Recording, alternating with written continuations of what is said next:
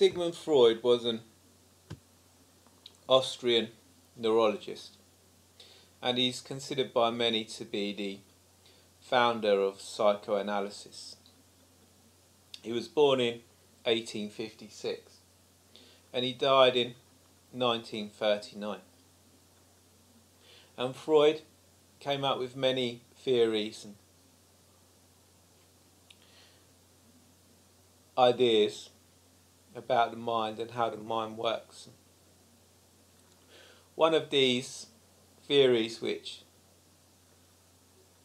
still continues today is the model of the mind. And Freud said that the mind was like an iceberg. And at the very tip of the iceberg are the things that we're consciously aware of, our conscious thoughts. Things that we we know about. And then on an unconscious level there are the things that are operating us on a day-to-day basis, things that we're we're not actually aware of. So in the conscious mind is where we have our thoughts and perceptions and then just below that Freud said there was the subconscious. And in the subconscious are things that we could be aware of if we wanted to or tried, things like memories, stored knowledge. And then Freud said there was a part of mind which he called the unconscious. In the unconscious mind were the things that we were unaware of and could not become aware of. This is something that is not not that popular in modern psychology. Freud believed that the unconscious was like a, a cesspool of unacceptable sexual desires, violent motives, immoral urges, selfishness. He said that in this part of mind was where we locked away shameful experiences, traumatic events. Underneath that, Freud said there was the ID. And this was how we perceive ourselves. And this was made up of all the experiences and things that we'd been through. And although, as I said, a lot of this has been debunked and isn't considered as relevant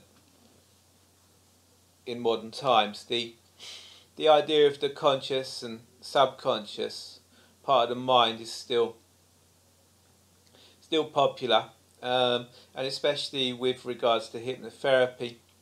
You know, we have the opinion that the subconscious or non-conscious part of the mind is there and looking to protect you, looking to keep you safe. And one of the ways it does this is by going to what it knows.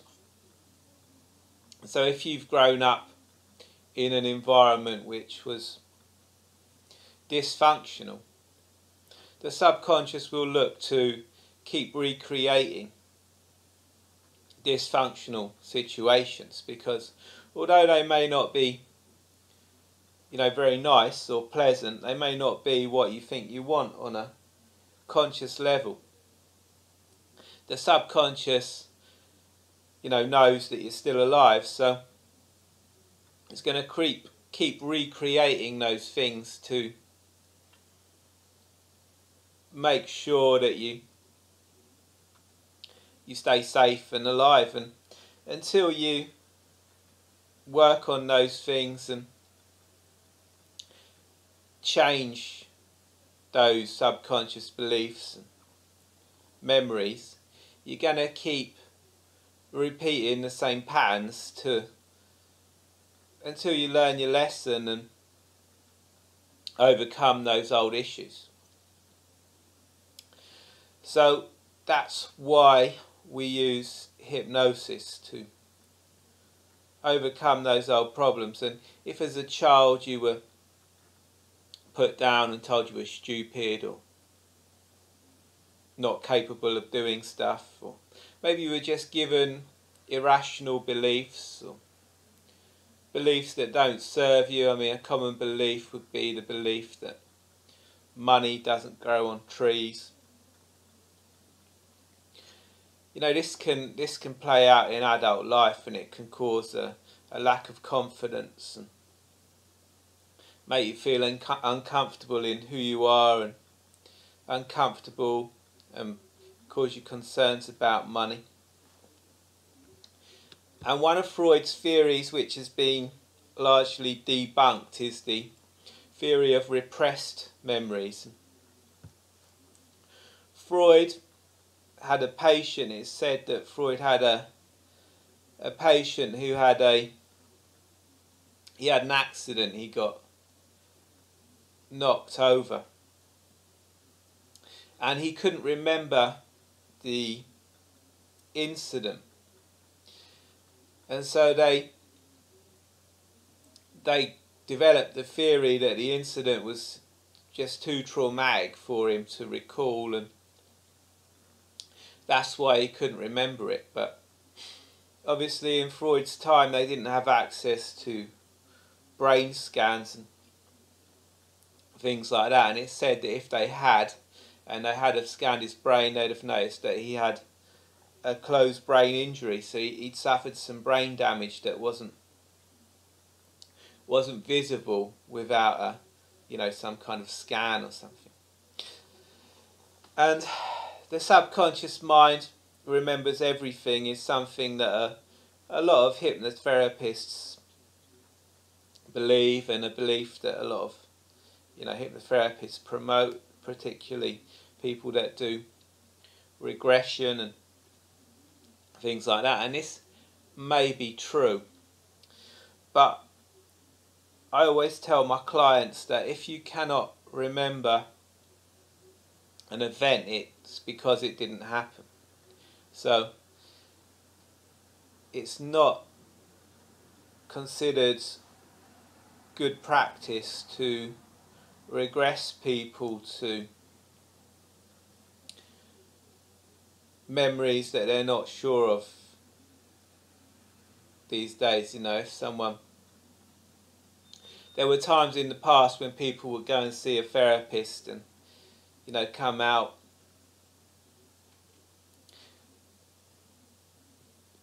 come back from therapy believing that they'd been molested by their mother or someone when they were a child.